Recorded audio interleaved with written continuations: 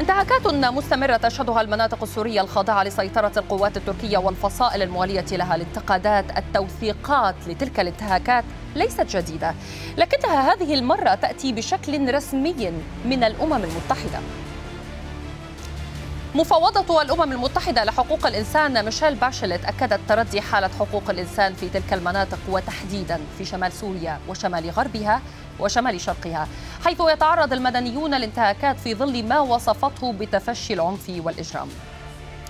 إذا ينضم إلينا من بوخوم الألمانية مدير المركز الكردي للدراسات السيد نواف خليل. سيد نواف أرحب بك معنا على سكاي نيوز عربية. إذا مخاوف تعلن عنها المفوضة السامية لحقوق الإنسان للأمم المتحدة وصفتها بالكارثة البشرية.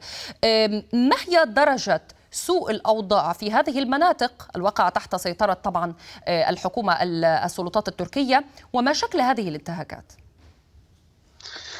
مساء الخير تحياتي لك ولجميع مشاهدي سكاي نيوز أينما كانوا. يعني منذ بداية دخول تركيا إلى عفرين تم تهجير أكثر من 300 ألف. هل هناك أكبر من كارثة أكبر من هذه؟ يعني ما تخشى منه الأمم المتحدة وما جاء في التقارير في الآونة الأخيرة غيض منفيض كما يقال.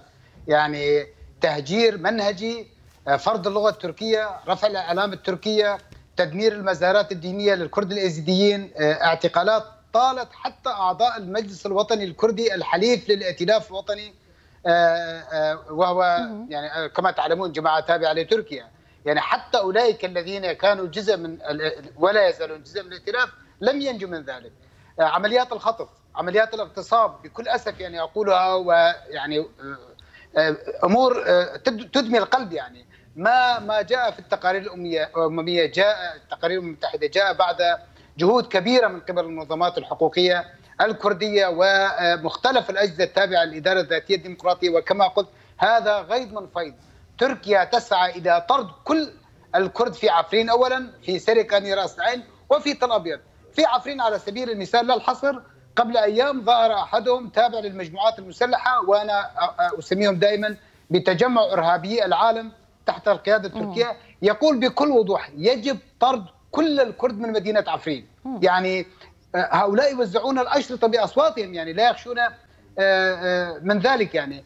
أما عمليات الخطف وعمليات القتل وعمليات أخذ الفدية ومزيد من التطهير فهو مسألة طيب. يعرفها كل كردي وكل متابع لما يجري في عفرين وسريكاني هناك و... رصد نعم. هناك رصد سيد نواف خليل إنه تم قطع المياه عن الحسكة في الشهر الماضي وتم حرمان حوالي مليون شخص من المياه الشرب.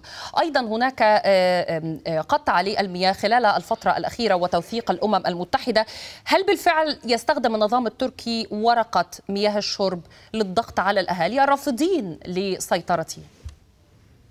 ليس فقط من محطة علوك التي تغذي أكثر من مليون شخص. يعني ليسوا من الكرد فقط يعني من الكرد والعرب والسوريان والأرمن وكل المكونات الرافضين لسياسات الاحتلال التركي. ليس محطة علوك فقط إنما حتى مجرى سد الفرات الذي بات يعني في بعض المناطق يعني جافا سدي الفرات ودجلة أيضا يتأثران بهذه السياسة المنهجية التي تقوم بإدارتها تركيا من ناحية ستقوم بقطع مياه سد الفرات الذي يغذي المنطقة ويعني محطة الطاقة الرئيسية للكهرباء أيضا. ومن ناحية أخرى أيضا يقطع محطة علوك يعني كارثة إنسانية في ظل حاجة الناس إلى أبسط يعني الأدوات التي يمكن أن يحارب بها جائحة كورونا.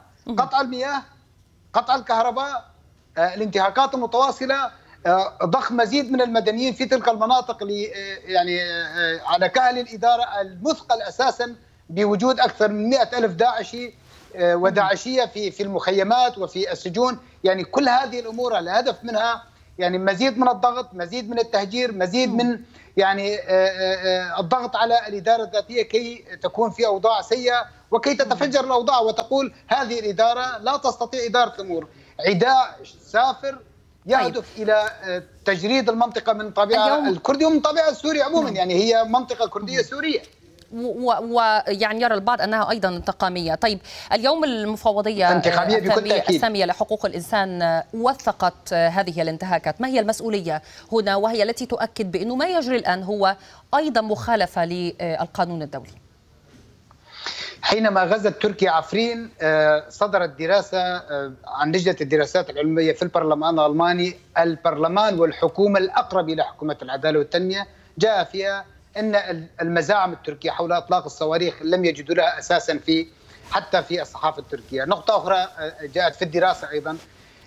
وفق المادة 53 من يعني القوانين الناظمة أو الأنظمة الدولية لا يحق تركيا غزو هذه المنطقة. البرلمان الألماني أيضا يقول تركيا تستوفي كامل معايير الاحتلال في سوريا، بل أنا أقول أبعد من ذلك، هل كان الفرنسيين مثلا يرفعون الأعلام الفرنسية خارج الثكنات والدواء الرسمية؟